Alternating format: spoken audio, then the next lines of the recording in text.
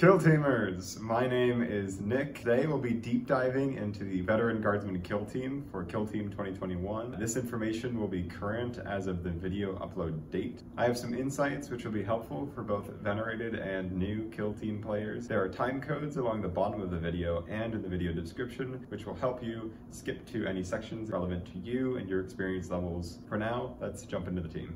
So, the strengths and weaknesses of the Vet Guard kill team. The big strengths here are the high activation count, the primary and secondary objective scoring ability of the team, and the multiple high damage vets present. For the high activation count, you have 14 models, most of which are activating on their own. In total, you have 12 activations minimum, which leaves you a lot of room to maneuver and a lot of ability to present yourself on the board after the enemy has already done all of their activations. For primary and objective scoring, because because we have 14 models, we are able to get onto the objectives and use our multiple models, all of which with 2 APL means 28 APL on objectives. Remember, most objectives in this game can only be scored if you have more APL on it than the opponent, whether that's for ones where you have to activate the objective or ones we have to stand on it, all down to how much APL you have on the objective. It's a lot of APL. For the multiple high damage threats, we have so many models that have really strong damage capabilities. We have crack grenades, frag grenades in the equipment, we have the demolition veteran, we have a sniper, we have gunners, we have the sergeant himself with a plasma pistol and a power sword. There's plenty of damage on this team. While it's hard to keep them alive, they're certainly a threat.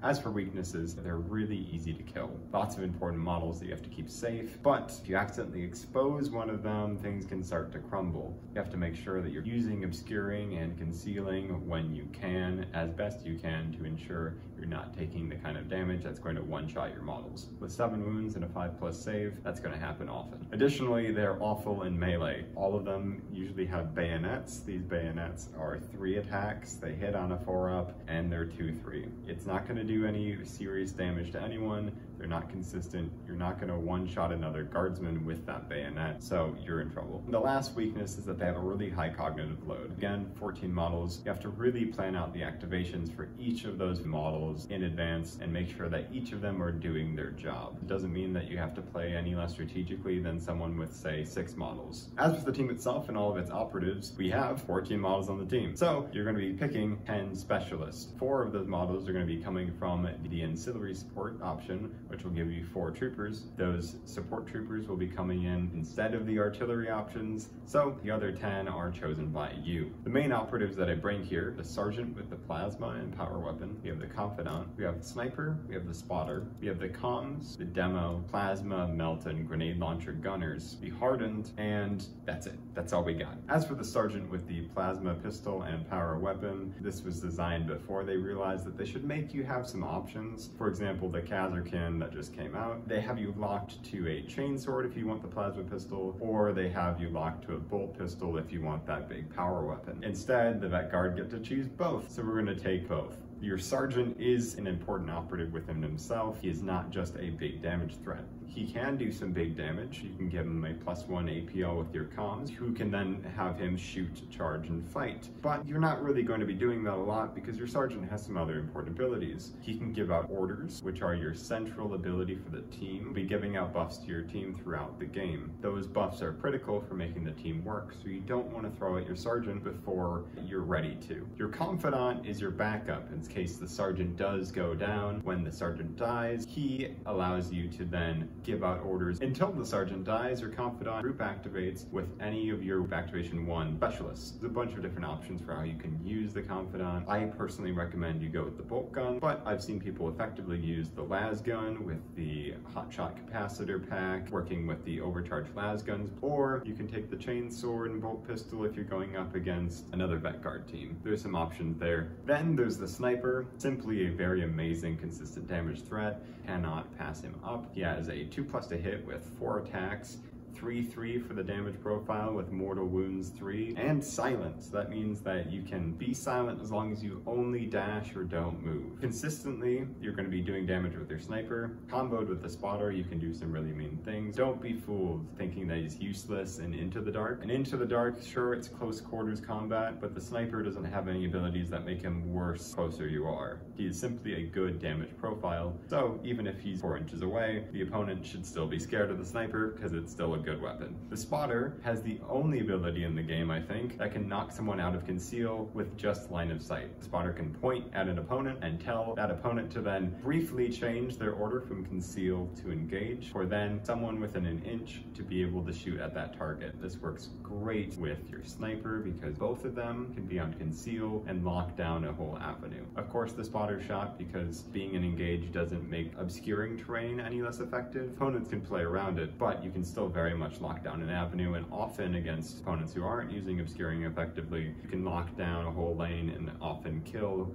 an operative in the first turn, or at least damage someone. The comms is one of the most versatile operatives on this team. He gives an additional APL to a different operative, meaning that your demolition veteran can do one activation combos like moving, planting, and detonating, or your sergeant can shoot, fight, and charge, or you can even have your plasma gunner who can go and peek out with a dash, shoot, and then move back into cover. There's many different things you can do with the comms. He's a must take.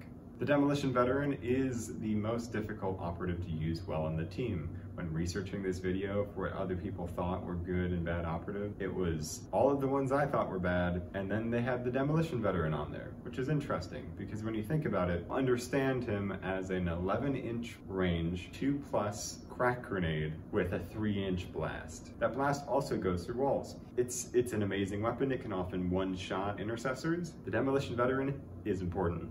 Don't sleep on him. The Plasma, Melta, and Grenade Launcher Gunners are simply good damage profiles. You need to take them. That's about it. The last one, and maybe the one that people often put with the Demolition Veteran in the don't take category, is the Hardened Veteran. I slept on him as well during my beginning phases of playing this game, but he plays into your main strategy really well. You're interested in scoring primary objective and secondary objective points. With the Rosary equipment, he can negate an entire one attack dice of damage, and then he also has a 5 up Feel No Pain. This means that he can be incredibly annoying to kill, and he requires two whole attacks to kill, and that means that you can put him on an objective and he will be able to hold it likely for an entire turning point, if not more. As for the operatives that I avoid, firstly we have the Bruiser, who's just awful. Firstly, he's a melee guardsman, which, as we said, the weakness of the team is bad melee. The solution to that is not to use bad melee. The Bruiser has a 3 up, 3 attack, 3-3 stun baton, not really doing anything. It's not even going to kill a guardsman, even if you do a crit and a hit which is above average, that's only six damage. A guardsman has seven wounds, let alone against an intercessor who's not going to care. Then there's the zealot, who's maybe a bit more of a controversial opinion here. This operative is really the greatest bait in this entire kill team. So many people I know have told me to consider this operative and have even argued that the zealot is essential to their vet guard list, but I, I disagree. He's essentially a trooper with group activation one who can re-roll his already five up defense dice, which is not great, and maybe get more five ups, it's not going to save you in the end, and it's definitely worse than the hardened, who gets a five up to ignore each point of damage, each wound that he takes. And the hardened has a decent melee weapon, not really important, but certainly better than the zealot. Zealot's main ability is that he gets to spend one AP, which is a lot for this ability, to have a 3 inch aura that gives lethal 5 plus on just one result to melee or ranged weapons. Now it seems good, right? Having lethal 5 plus is nice. You can combo that with your gunners maybe, your sniper, but it's really blast bait. This is a 3 inch aura, meaning that anyone inside of it is probably going to be within 2 inches, which means that you're going to be clumping all of your important operatives together, which allows the enemy to charge in, throw a frag grenade, and potentially kill your entire back line of important people. Plus, a lethal 5 plus is not going to really change much, especially when it's only one result. Lethal 5 plus is nice, uh, but you don't need it. Cool, that's all I need to say about that. The medic operative. The medic is a nice operative to bring, but there's so many other good options that he sort of goes in last. The hardened veteran and the medic switch places often in my list, but for two particular reasons. One, the medic is quite good in scenarios where you have a lot of shooting going on, but in most objectives in this game, we're not doing a lot of shooting, we're focusing on the primary objective. In narrative play, the medic can be fantastic. Or in Into the Dark, there's some scenarios where you might want to be focusing on killing before being able to get to the objectives because of the nature of Into the Dark, very close quarters, a lot of melee. You want to be taking out operatives before they get to you, so the medic can help with that.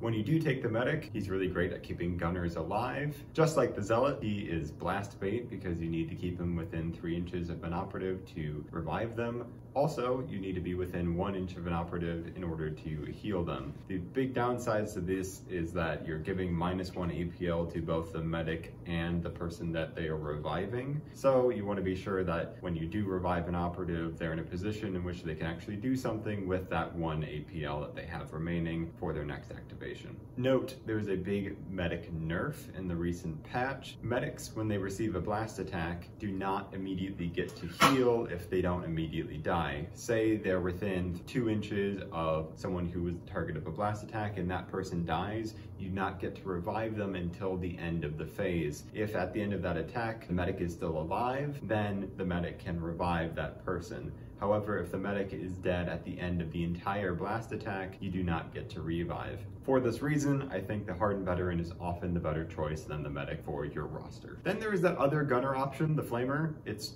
quite awful. You have a two up to hit, which is good, but it's only four attacks and they only do two two damage. It's going to torrent off into other enemy operatives, quite like blast, but it's still only two two damage profile. You're not going to kill a guardsman just like with the bruiser's baton. It's just not a killing weapon really. It's going to do a lot of tick damage. It's not as good as the other weapons. I don't take it even on Into the Dark. It's kind of questionable even though it does get the lethal 5 plus that Into the Dark blast weapons and torrent weapons get. So the last things that we get are the four troopers. Why do we take the four troopers and not the big cool weapons? Artillery strikes and missiles sound very fun. The reason why we don't take those big guns is that they're pretty mediocre. The weapon profiles themselves aren't that enticing and you only get to use them twice in the whole game. So instead of getting four troopers, which allow you to get plenty of activations off. That's gonna be two activations per turning point if you keep them alive. And they're gonna be sitting on objectives with eight APL. Instead, you're getting two weapons that you only get to use twice one each. These weapons do benefit from vantage point as per the recent balance changes. However, they're still not worth taking. The weapon profiles, for example, the guided missile. It's four attacks, three up, four six with AP1. You don't get to benefit from take aim on this. You will get vantage point, but it's not going to provide anything that your other gunners are providing currently, and it's not going to win you the game any faster than if you had four troopers. By only getting to use this once, you're only going to get to spend command point rerolls on that attack. If you with the attack, that's one of your two weapons used up. Instead, we get to take four troopers, which get to go sit on objectives. They can do tac ops. They can stop enemies from coming to your gunners. They're physically able to block them off by charging them in. You don't have to fight with them. You can just throw them in as bodies. It gives you so much more versatility so that you can use the other good parts of your team to excel and win the game. Speaking of guardsman orders, there are four orders that the guardsman can take and issue throughout the game. Of course, this begins with your sergeant, and then when your sergeant dies, this goes to your confidant. This is a six inch range from whoever has taken command. Your comms can give out orders to your whole team for minus one APL to that comms, so keep that in mind when positioning your operatives. Note that whoever is issuing orders needs to be within six inches of the comms for it to go to your entire team. The best orders here are move, move, move, and take aim. As for move, move, move, this gives you plus one inch to your normal move. Does not affect dash or other things like that, but plus one inch for your normal move is excellent, as it can combo with your free dash from your strategic ploy at the start of the game. So that's three inches, and then your normal moving for six inches. So you're gonna get up essentially through the whole half of the board before the first turning point is done. This will get you onto the objectives and start winning you the game before all of your operatives die. Once you're on the objectives, switching to take aim allows you to to re-roll one on your shooting attacks. This allows you to have more consistency with your shooting attacks, and it also allows you to overcharge your las guns and your plasma guns with more consistency. By re-rolling the ones, you won't have to worry about the hot as much, though you can re-roll into a one again, and remember you can't re-roll a re-roll by using a command point, so be careful with that.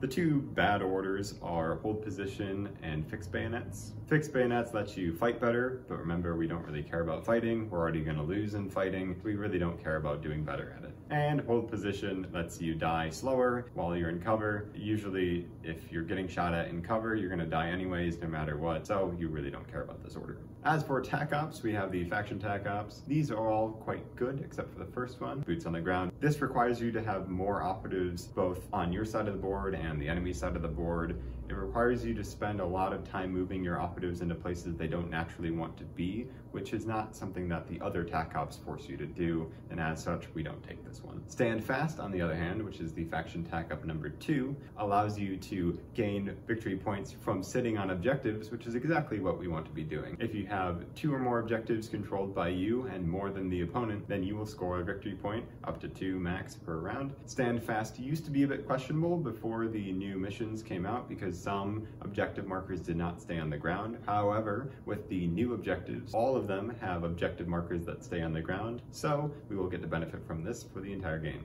Glory in Death also supports your strategy of gaining a lot of primary victory points and dying a lot. Glory in Death requires you to have more friendlies dead than the opponent and more victory points than the opponent. This is for the primary victory points, so if you have more primary victory points than the opponent and they're just about to outscore you on TAC Ops, you will just get two free victory points for having more friendlies dead than the opponent. This one is typically free. If you're going to win, then you're just gonna win more. If you're gonna lose, then well, you're probably already gonna lose no matter what. As for the classic match play TAC Ops, these are the ones that came out when the game first came out and that are still being used in some types of play. We have a couple good ones, a couple bad ones. The best TAC Ops on this list are Seize Ground, Hold the Line, and Central Control. Protect Assets and Plant Banner are more situational, and Damage Limitation is pretty awful. Going from worst to best, Damage Limitation requires you to die less. As Vet Guard, we die a lot and want to die a lot, so we will not be taking this one. Plant Banner is often tricky to score unless the enemy is an elite team, which you can hopefully sneak one operative by one of those six operatives. It can be good, just depends on the map. It's worth playing around with, but it can be inconsistent if you don't have a game plan for how to score it on the particular map setup that you have. Protect assets can be great to score against other horde teams, but if the enemy has, say, only six operatives, that requires you to kill two operatives on an objective per turning point, you're probably not going to be doing that because the enemy probably only has one on each objective, so it's not going to be consistent. As for Seize Ground, Hold the Line, and Central Control, these are quite easy to score, and they often require you to do things that you're already wanting to do, and so these ones are the ones I consider in this original set of TAC Ops. As for the more interesting new TAC Ops, security got a nerf, and so unfortunately less of these are good, but we can still work around them. Seize Ground and Central control, they're still quite good, and Seize Ground, which normally does not work in Into the Dark, they have it replaced with Seize Access Point, which is also relatively good. We are able to get these by putting our operatives in places that they already want to be, and so we should be able to score these with ease. Protect Assets again is just as questionable as before, and so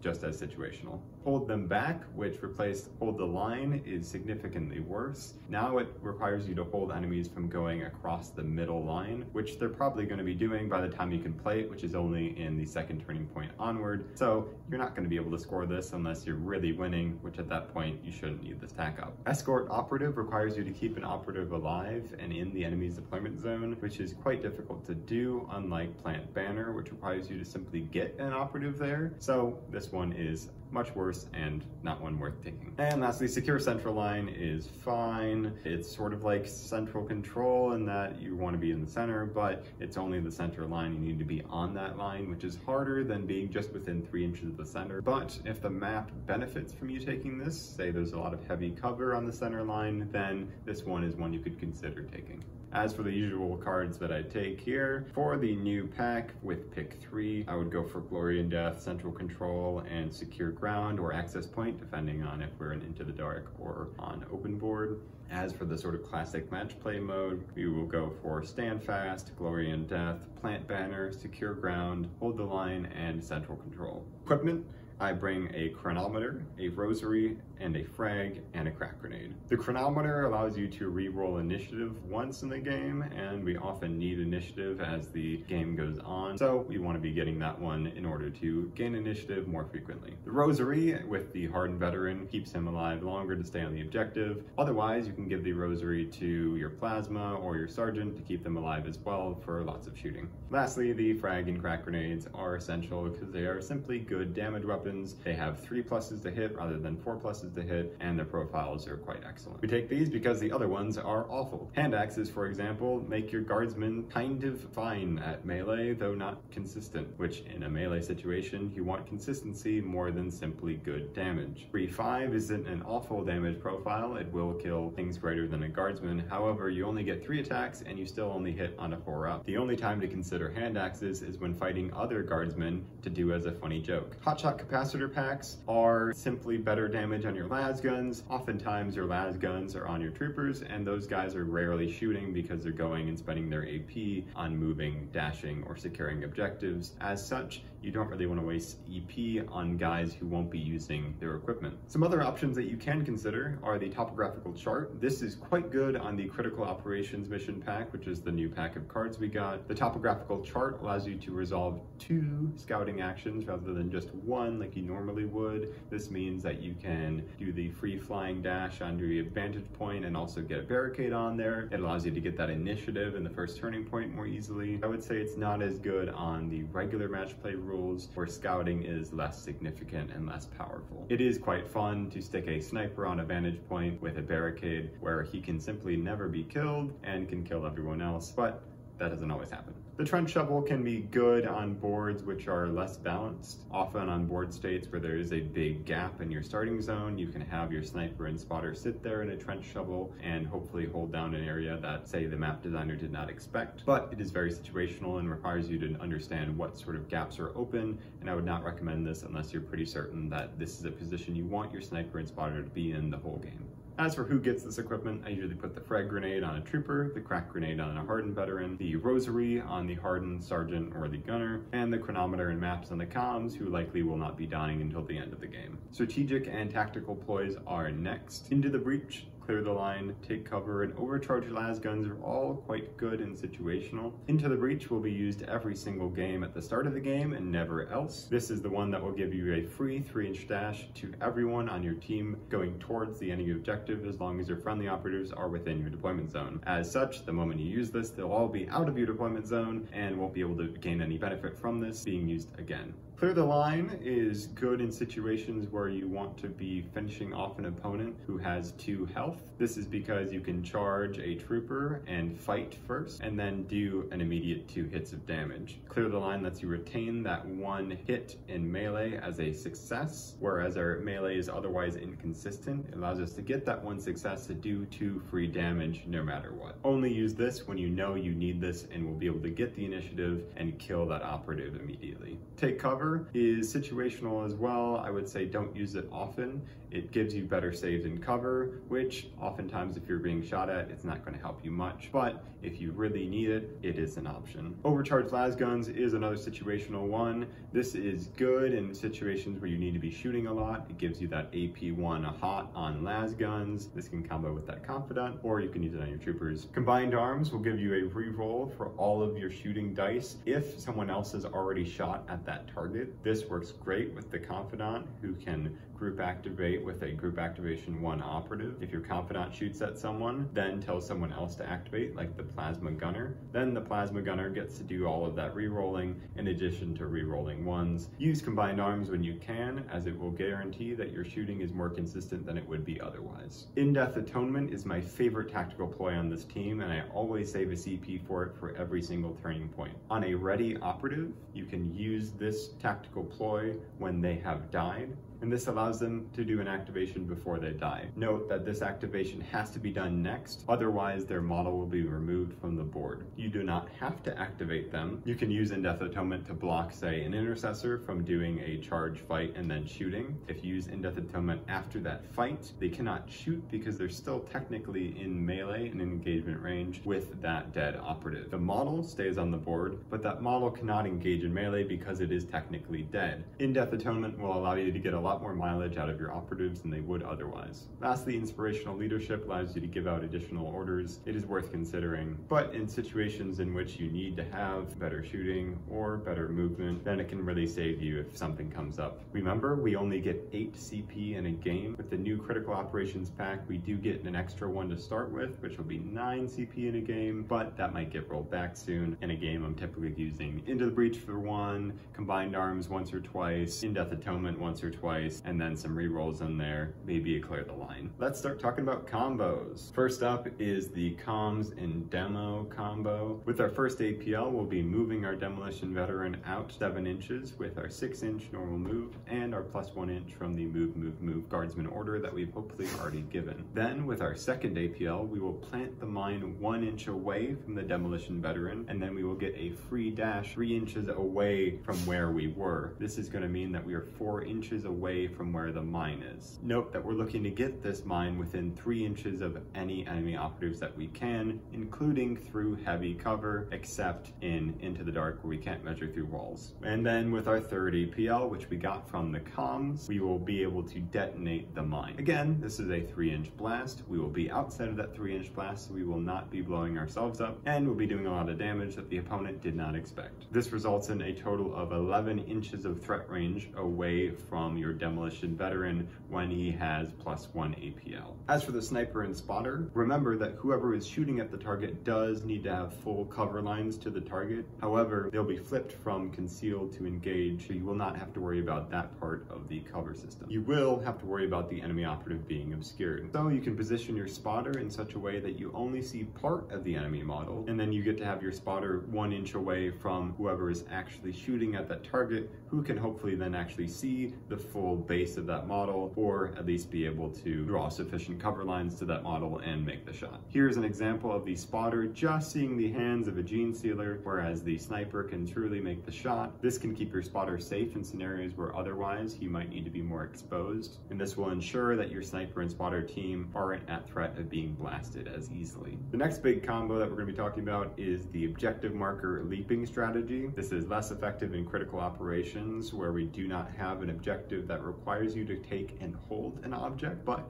in a lot of narrative missions and in the old mission packs, we have a lot of these, and so this can be beneficial. A group activation 2 trooper can get within one inch of a marker and pick it up, then can immediately drop it one inch away from the trooper. This will be about three inches of movement of the marker from its original spot. At this point, you can then group activate an operative which is within one inch of that trooper's marker that he just dropped, pick it up and run away. This will get you a lot of movement out of an objective where you otherwise would have to wait a whole turn to be able to move that objective marker. If your first trooper trooper is picking up and dropping the marker, and then your second is also picking up and dropping the marker. This is about six inches of movement. Lastly, and I don't really want to call this a combo, but it kind of is, is intentional friendly fire. You can blow up your friends with the Demolition Veteran if you really need to. This might sound ridiculous at first, but you can use this to deny enemy seek and destroy tac ops that require enemy operatives to kill your operatives, and you can use it to guarantee faction tac op 3 against horde teams. If you have more guys alive than the opponent because you've been doing so well, but you need that TAC Op score for a tournament, you can blow up your own guys to ensure you get Faction TAC Op 3 and you win the game. You can also trade with Intentional Friendly Fire. Remember that we have 14 operatives and enemies might not have that many, so we need to be doing a lot of trading. With the Demolition Veteran, we can plant the mine near a friendly and still detonate it. Enemies might not expect you to plant mines near friendlies, but remember, our troopers are expendable. If we're trading an Assault Intercessor for a trooper, that's a win for us. Don't be afraid to blow up your own guys if it means that you might win the game. All of this together results in a very unique playstyle. We will be out activating the opponent at every stage of the game if we can, and we'll be throwing away this APL, these operatives, as strategically as possible, whether that's for trading for objective points or trading enemy operatives. Ultimately, we want to win the game before all of our operatives die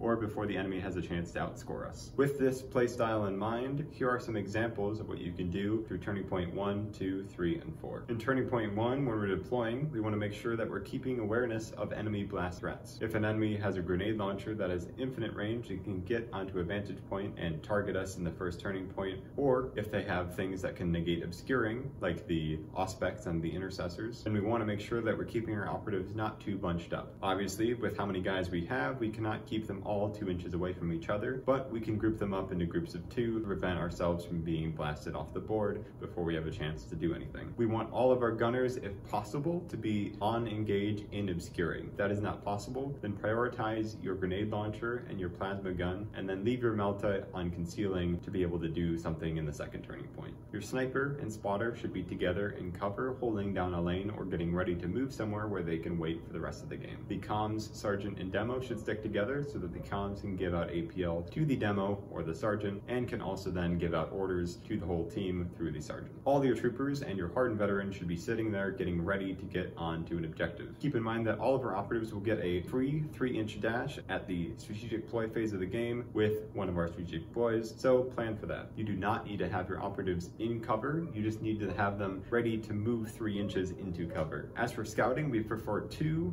to 1 to 3, meaning we prefer the change in order scouting option to the place a barricade scouting option to the free dash scouting option. We never really want to take the free dash scouting option because we already get a free dash from our strategic ploy. As for our turning one strategic ploys, we will always be doing move, move, move, and we'll be giving out our guardsman order for plus one inch to move through move, move, move. The activations that we do during turning point one should all be setting up for turning point two. We want to delay as much as possible to maybe get a shot off with our engaged gunners or with our sniper and spotter combo. We can idle a lot of our operatives. We don't need to move all of them up initially. We can try and get our troopers and hardens on the objective, but we can keep a lot of our operatives back waiting to trade. If your demolition veteran does not have any enemies within 11 inches at the start of the turn, you can activate your demolition veteran and have him wait so that the comms can give him a buff when he's already been activated. This plus one APL will last until the next activation, which will be in the second turning point, meaning that your comms can give out two AP buffs essentially in the second turning point. But if your demolition veteran does have a target in the first turning point that is within 11 inches, then absolutely go for it. Score as many points as you can in the first turning point as they will really help us later on in the game. Turning point two is about using all of that setup that we just did to be able to execute as much of our game plan as possible. This will mean shooting as many enemy operatives as we can and securing as many objectives as possible. Our strategic ploys will look like guardsmen take aim and then we'll likely be using In-Death Atonement and combined arms and some rerolls during this phase because we're focused a lot on killing. We're capitalizing on having most of our models alive, if not hopefully all of them, and so we want to use these operatives as much as possible so the enemy can't kill them all. If we're being conservative and only throwing out one or two operatives, those ones are certainly gonna die. Turning point three is where things begin to get scary for us. We've just thrown all of our threats out into the open. We've hopefully killed a lot of enemy threats, but now the enemy has a chance to retaliate against our big attack. They've probably reached most of the objectives and melee teams will be charging at us, whereas shooting teams teams will now be shooting back at us. Our model count is probably beginning to run low, and we're now on the back foot. We want to be scaring objectives primarily, and then, if we have the opportunity to, doing some damage. However, the only damage that we should be doing here are ones that are going to secure us victory points either now or in turning point four. This means focusing on enemies that are on objectives or near them. Our sergeant is probably going to be able to do his big damage move during turning point three or four and will likely die at this stage. In turning point four, we are no longer looking to trade except if it guarantees that we're we're getting victory points. All of our APL should hopefully be sitting towards objectives or securing TAC ops. In-Death Atonement is going to be critical here for ensuring that maybe the one or two gunners that are still alive are actually going to be able to do anything during this phase. If you haven't won by turning point four, then unfortunately things might be a bit tricky during this turning point. And that's it. Thank you so much for watching my first kill team video on the Veteran Guardsman kill team. If you want to see more of my minis, over on the right side you can see my uh, Instagram handle where I have all my mini miniature pictures over there. Big credits to the London Wargaming Guild, particularly Nixie and Jason, who are some great Vet Guard players over in the UK. Can You Roll a Crit is also a great YouTuber who gave me a lot of inspiration when making this video. Has some great thoughts on the game and I recommend checking him out. The Dice Dojo in Chicago is my primary place of playing and I really want to thank them for giving me a place to take a lot of these photos and consider this game. And lastly, I want to thank my partner for editing this video. I really, really appreciate that. And if you like this video, video, maybe I'll make some more. Until next time, outro, I guess. I don't know.